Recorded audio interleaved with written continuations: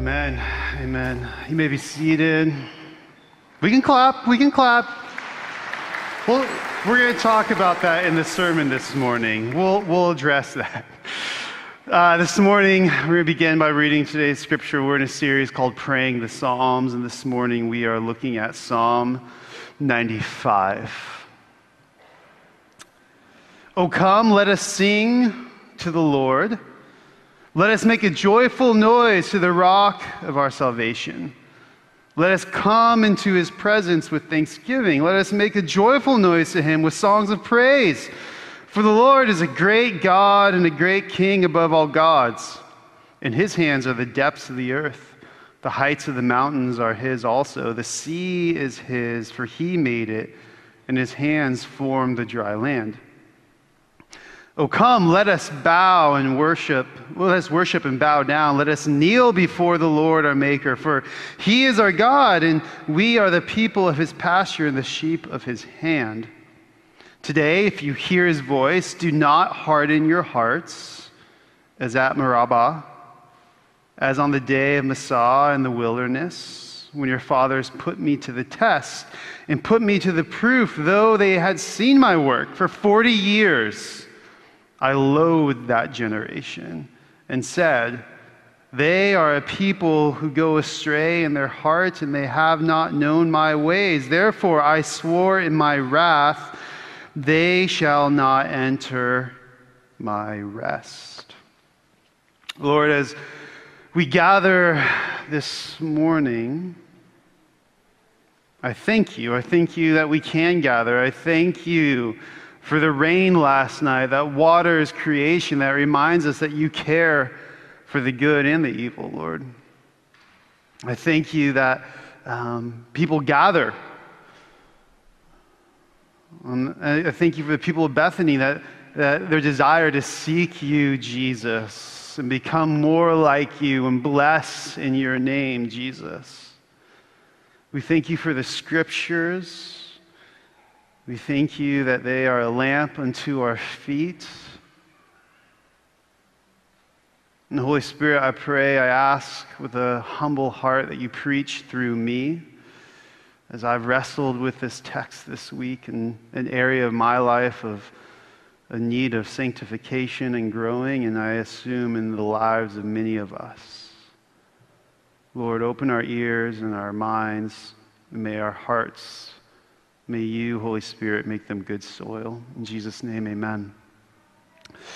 Catholic priest and theologian um, Ronald Rolheiser, um, one of my favorite authors on kind of spiritual formation, he writes in his book, Sacred Fire, a vision for a deeper human and Christian maturity. He writes this Gratitude is the basis of all holiness. The holiest person you know is the most grateful person you know. We read that for us again. Gratitude is the basis of all holiness. The holiest person you know is the most grateful person you know. That is a bold claim, and I think he is correct.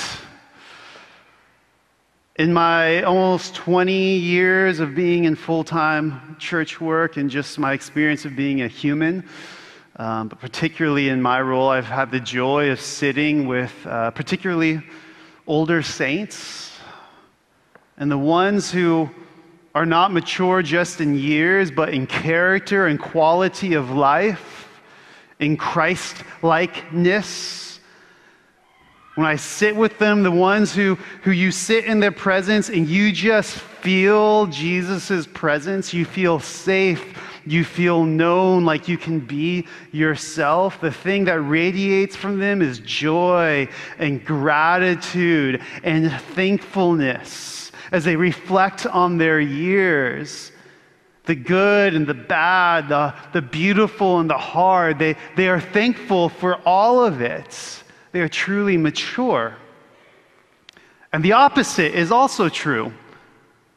I've sat with people who are mature in years, but they are still infants in the faith. When they look back on their life, The good was never good enough. The bad was somebody else's fault. It's grumbling, it's complaining.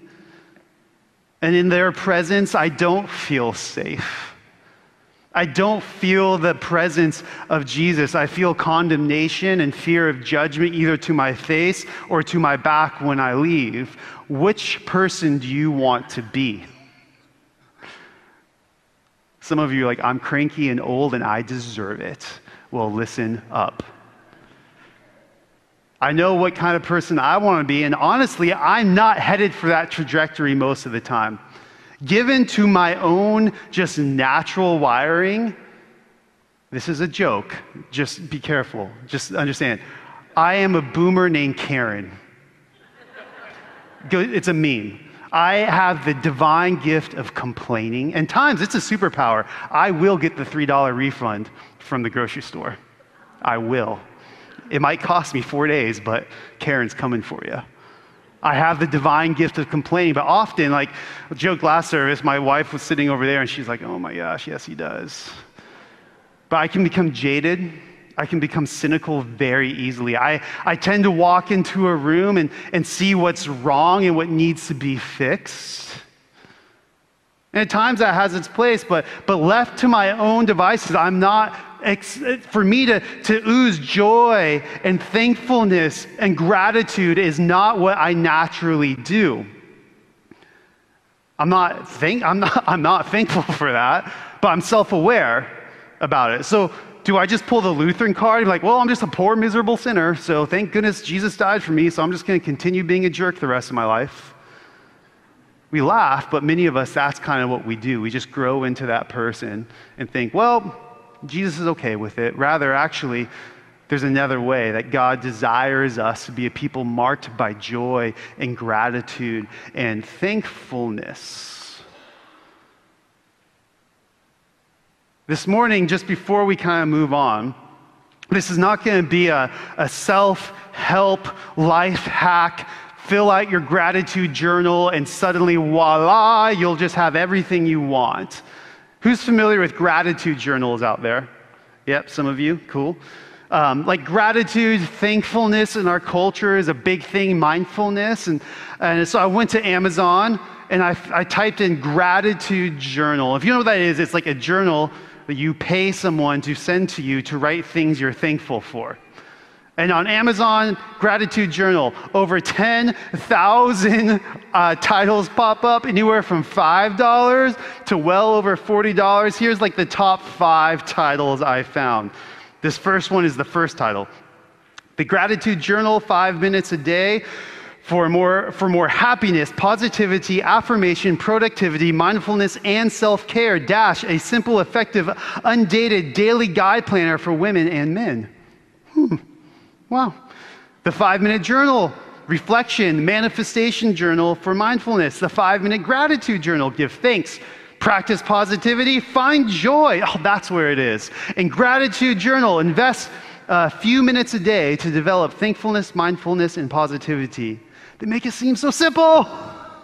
If only I had my gratitude journal. You can hear the cynicism oozing from me in the moment. Now, if you have a gratitude journal and this is a practice, good on you. Like the studies show scientifically that like practicing this, writing these things down every day has a positive effect on your mental health, even your physical health. Like keep doing it. But I wonder if there's actually a deeper practice because God desires his people to be a people marked by joy and gratitude and thankfulness in all circumstances to help us mature to become more like Christ. So, as I preach this morning, I am preaching to myself because this is not how I am naturally wired. This is very difficult for me, and I assume for many of us, especially given the state of our world right now.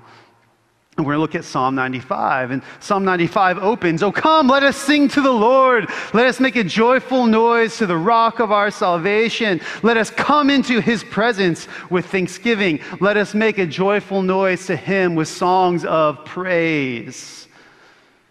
I was a full time worship director. That's what I went to school for. Like, I was the guy with the guitar that would use this psalm as like a hype man. Like, make a joyful noise. Come, like, I heard someone call like biker worship. Stick your hands up. Like, oh, I love Jesus, right? And uh, I, I've been joking, like, the 745 service. Uh, here at Bethany is divine service. I love it. It's beautiful. There's like no clapping. There's no nothing, like no emotion at all, right? The nine o'clock is our blended. Like for some people after that song, there's like and some people, like, Pastor, if you clap, it's a slippery slope. It's a slit. Next thing you know, there's going to be lights and mist. Like, watch out, right? And then even after the nine o'clock, like, or the 11 is our, our modern service. And like, for Lutherans, it's like you may see like the crazy hand waver, but like, compared to like, most non-denom like charismatic churches we're still very, very we're very lutheran very lutheran at worship. I'm kind of joking at that but kind of but but we we we uh, we hear things like this like the psalmist is telling us make joyful noise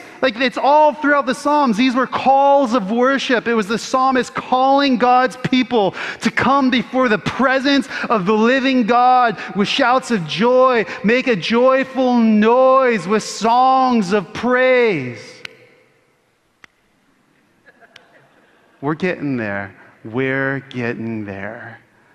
These are good things. And then the, the, the, Psalm's kind of broken up in two halves. And, and the psalmist goes on to explain like what that looks like to bow down, to kneel, to, to and he uses language of Psalm 23 that, that the Lord is our shepherd and we're in his pasture. We're free to worship and praise him. These are good and beautiful things, and they should be used for a call to worship. But then in verse 7, it gets really weird, really fast. He makes a hard left turn. Today, if you hear his voice, do not harden your hearts as at Meribah, as on the day of Massah in the wilderness, when your fathers put me to the test and put me to the proof Though they had seen my work for 40 years, I loathed that generation and said, They are a people who go astray in their hearts, and they have not known my ways. Therefore, I swore in my wrath, they shall not enter my rest. I never used the second half of this psalm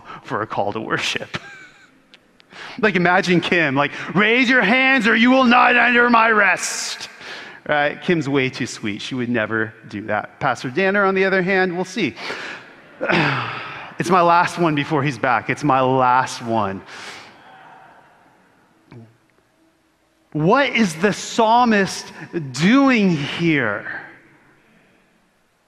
This is why this psalm is much more than a hype man call to worship, try and get people to experience some emotional response to music and lights and, and charismatic leaders. It's actually a prophetic warning to the people of Israel saying if you lose the way of gratitude and thankfulness in your hearts, you're going to end up like your ancestors. And he starts with, Do not harden your hearts, as in two places that I cannot pronounce the names. I'm going to, Meribah, there we go, and Massah. We need to remember that the Psalms were the prayer book of the nation of Israel. They are written by real people in the context of real situations. And here the psalmist is bringing Israel's attention back to Exodus 17. After Israel had been redeemed through the waters, that they had been enslaved for 400 years. And Yahweh defeats the most powerful army at the time and redeems them, sets them free. And they're wandering in the wilderness we read, Therefore the people quarreled with Moses, their leader, and said, Give us water to drink. They were thirsty. They were in the wilderness. And Moses said to them, Why do you quarrel with me? Why do you test the Lord? But the people thirsted there for water, and the people grumbled against Moses and said, Why do you bring us up out of Egypt to kill us and our children and our livestock with thirst? Slavery, 400 years. Yahweh had just done miraculous signs, and they're quickly forgetting. No longer shouts of praise and gratitude and thankfulness, but quarreling, complaining, grumbling. We look at Israel and go, Silly Israel, I would have been doing the exact same thing, and so would you. So Moses goes to Yahweh. He's like, Yahweh, you gave me these people. They're your people, and now they want to kill me. What do I do? And Yahweh's like, Moses, take your staff, go to a rock, strike the rock, water will come out, we'll be okay. So Yah- Moses is obedient to Yahweh, does it, water comes out, and everyone drinks. Yay, we're not thirsty anymore. But this is how the story, the author ends, ends the story for us to remember this. He doesn't keep our attention on the miracle that came from the water that came from the stone, but rather from the, the people's hearts. And, and he called the name of that place Massah and Meribah because of the quarreling of the people of Israel and because they tested the Lord by saying, Is the Lord among us or not? And if you follow the story, the history of Israel, their hearts get harder and harder and worse and worse and worse. And the psalmist says to the people that are gathering for worship, if you hear his voice, do not harden your hearts. Quite literally, do not repeat the sins of your father, because if you do, you will not find my rest. This psalm is a prophetic warning. It's the antidote to the hardening of heart. That, that Israel, keep your hearts focused on gratitude and praise. Make a joyful noise to the Lord. It was also a warning to the early, early church, the author of Hebrews. He's writing to this new church, that this new group of people, the new Israel, birth out of the life, death, and resurrection, and the anointing of the Holy Spirit, the sent ones. And he quotes Psalm 94, but he, he goes even further, saying, if you, if you harden your hearts, you're actually going to fall into unbelief and cut yourself off from the branch of Israel the one true God that has uh, fulfilled all the prophecies in Christ. Do not harden your hearts. And we have the same warning for us today. I've been off of social media now for like th- three weeks, four weeks, almost like a little over a month, and my life is so much better.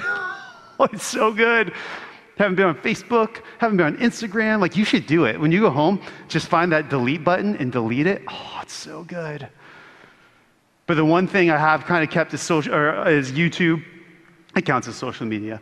And uh, during um, lunch, my lunch break, or I have a little time to kill, I'll go watch a video or interview. And, and my algorithm's kind of full of kind of like well-known Christian pastors or authors or podcasters or like Christian thinkers, and and um, and these are people who have massive influence. You know, like they're pastoring tens of thousands of people, or or they have uh, a New York Best Time Seller book, or they have a podcast that reaches millions of people, and they're influencing kind of Christian culture, if you will.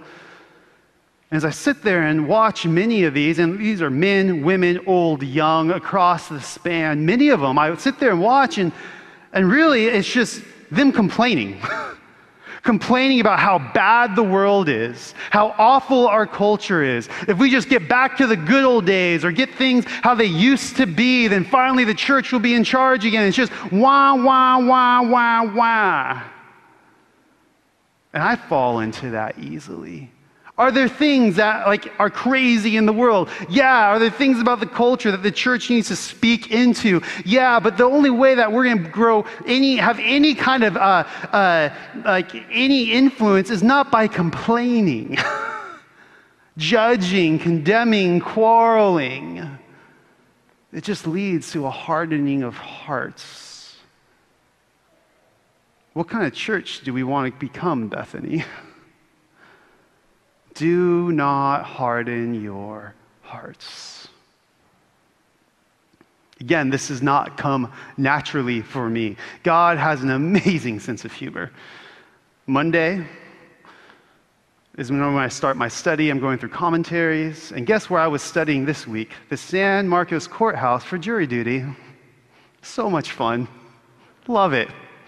Love writing a sermon on gratitude and thankfulness as I'm sitting in the courthouse seeing if my number will be called or not. And on top of that, it was for a case for sexual misconduct against a minor. I'm sitting there going, God, really? Like, this is not fun. I'm not, I'm not gracious right now. I'm not full of gratitude. They made us all exit and they shuffled the jury. And, kind of, like that time, text my wife, I'm like, this is to take forever. And I sit down and the, the, the um, I didn't get selected, by the way.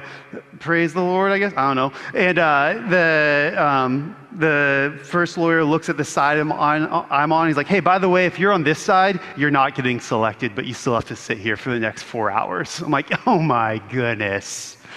Right?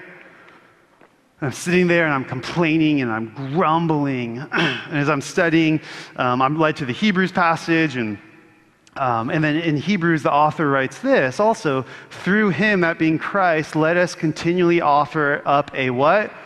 Sacrifice of praise to God. That is the fruit of lips that acknowledge his name.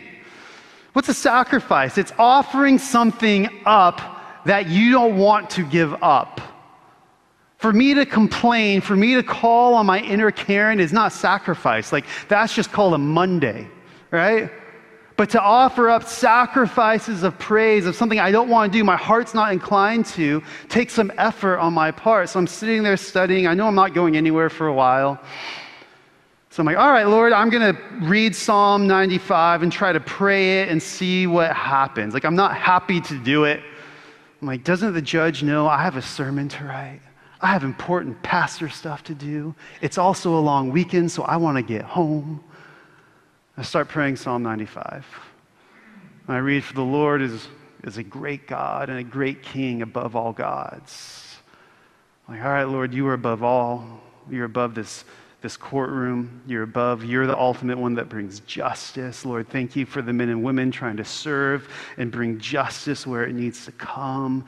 I'm trying to think of things I'm thankful for in that moment. And then I read, In his hands are the depths of the earth, the heights of the mountains are his also. Lord, you are king over the universe. You are over it all. None, you are not surprised by any of this, Lord. Lord, help me be thankful that I can be in a country where, where justice is imperfect as we do, that they try to bring it. Lord, help me. And I read the song, the sea is his, for he made it, and his hands formed the dry land. I'm reminded that in the Old Testament, for the Israelites, the sea was an image of chaos and fear. And, and Lord, even the chaos of this, this alleged sexual abuse against a minor, Lord, that you are active in it, Lord. And I'm praying and I'm praying.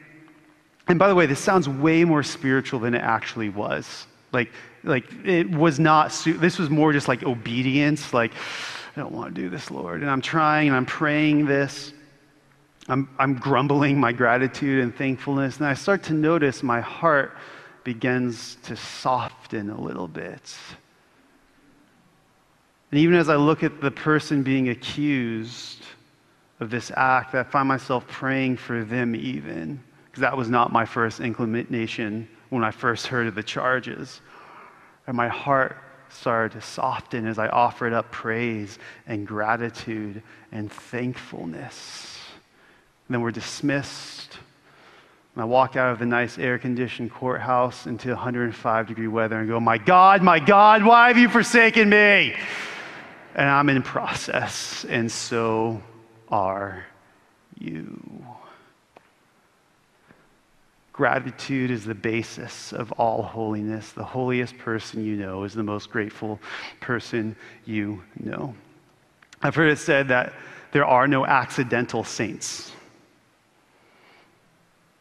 I think of the people in this congregation over the last two years I've had the honor sitting with, especially the ones in their 70s, 80s, 90s, even in, well into their hundreds, and I sit with them and I'm in the I'm in the presence of a mature follower of Christ. Gratitude, joy, thankfulness. I feel like I'm in the presence of Jesus. They didn't just wake up at 99 and be like that. It was the course of 60, 70, 80, 90, 100 years of practicing gratitude and joy, offering sacrifices of praise, and the same is on the flip side.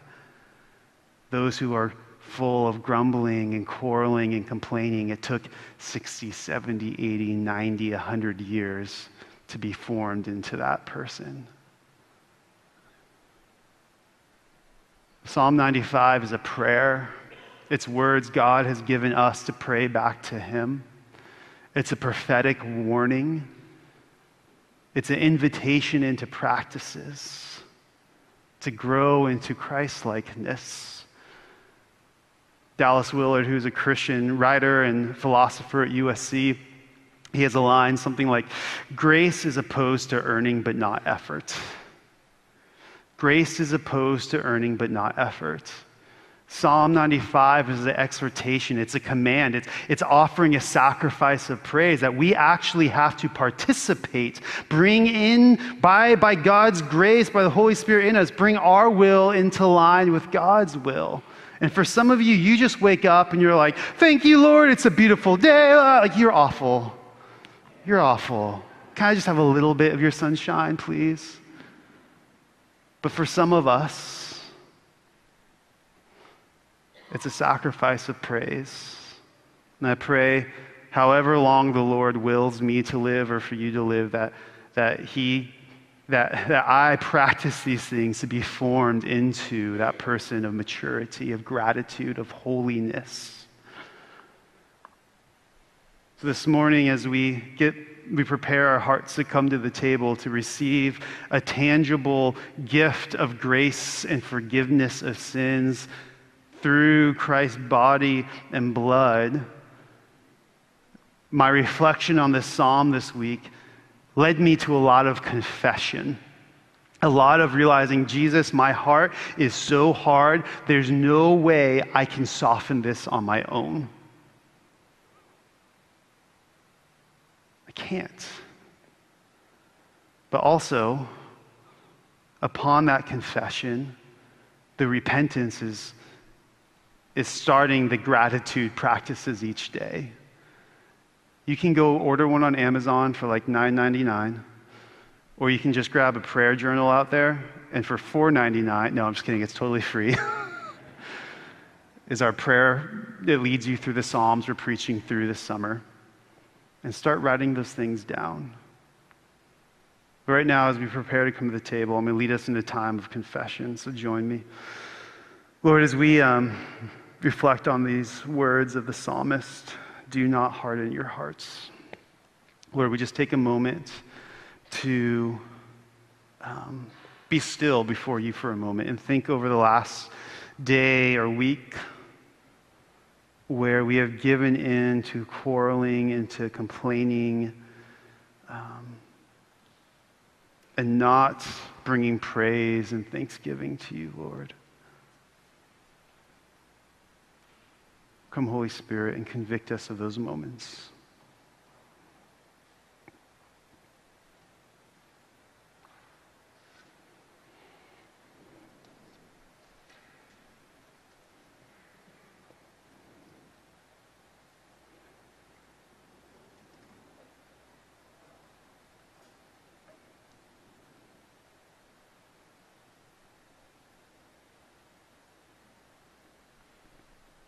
Lord, where, where we have grown bitter and jaded towards you, um, towards our neighbors, towards the world, Lord, um,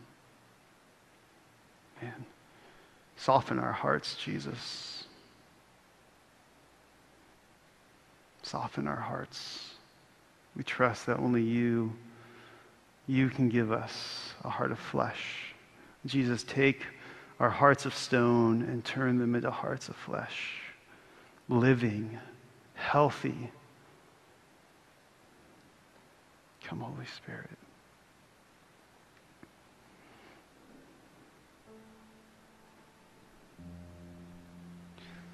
Brothers and sisters, as we come to this table, Christ hears your confession. He knows the broken, hard places of your hearts. The psalmist says, If you continue to harden your hearts, you will have, we will not have my rest. But Jesus says, Come to me. Rest in me. Take my yoke upon you, which means walk with me. That his way is light. Unload those burdens to him because he loves you. He has given himself for you. He, he absol- absorbed your hate and your frustration and your grumbling and quarreling unto himself. And all he pours on you is love and grace and forgiveness. If you desire to receive that love, grace, and forgiveness, say, I receive it. It's yours, brothers and sisters.